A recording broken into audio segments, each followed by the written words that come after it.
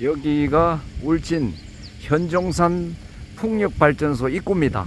아, 요 도로에서 어, 도로를 타고 올라가면은 풍력발전소를 만나볼 수가 있습니다. 그러면은 저를 따라서 가보시죠. 안녕하십니까 윤세정 TV입니다. 저는 오늘 울진 현종산 풍력발전소에 나와봤습니다.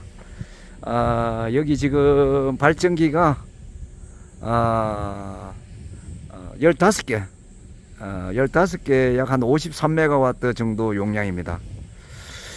어, 이 지금 그 정면에 아, 풍력 발전기와 그리고 저기 철탑 또 뭐 변압기 스위치하드 뭐 이런 것들을 보실 수가 있습니다. 아, 여기는 경북 울진군의 현종산입니다. 현종산. 아, 여기서부터가 이제 현종산 발, 풍력 발전소가 되겠습니다.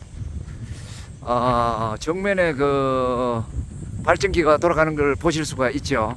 예.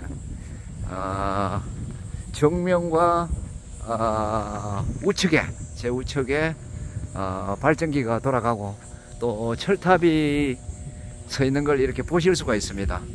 예. 어, 철탑을 통해서 전기가 어, 흘러가는 걸 볼 수가 있고 바로 뒤쪽에도 어, 풍력 발전기가 돌아가는 걸 볼 수가 있습니다. 여기는 울진의 현종산이 되겠습니다. 현종산에 있는 풍력 발전기를 보고 있습니다. 그리고 아, 여기 지금 정면에 다시 풍력 발전기가 쭉 있습니다. 여기는 현종산 풍력발전소 사무실이 되겠습니다.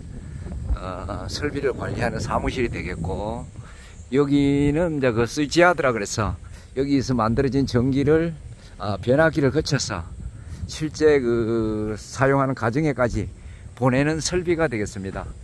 에, 뒤쪽에 이제 거기 저 철탑이 보이고 어, 풍력 발전기가 돌아가는 걸 또 보실 수가 있습니다. 예, 저 뒤쪽에 하고 또 정면에 어, 그리고 또 이제 좌측에 쭉 이렇게 풍력 발전기가